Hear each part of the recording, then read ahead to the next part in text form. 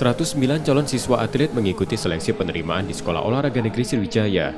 Calon siswa sebelumnya sudah lulus seleksi administrasi. Calon siswa akan disaring untuk mendapatkan kuota hanya 66 siswa saja. Mereka akan dibagi untuk tingkat SMP dan SMA. Proses seleksi yang diikuti calon siswa SONS, yakni fisik, kecaburan, kesehatan, psikologi, dan wawancara. Dan yang 109 orang ini adalah mereka-mereka yang secara administrasi telah lolos memenuhi administrasi yang diperlukan. Jadi untuk itu dari hasil tes ini nanti akan kita dapatkan akan kita ambil sebanyak 66 siswa sesuai dengan kuota kita yang ada saat ini di Sekolah Olahraga Sriwijaya.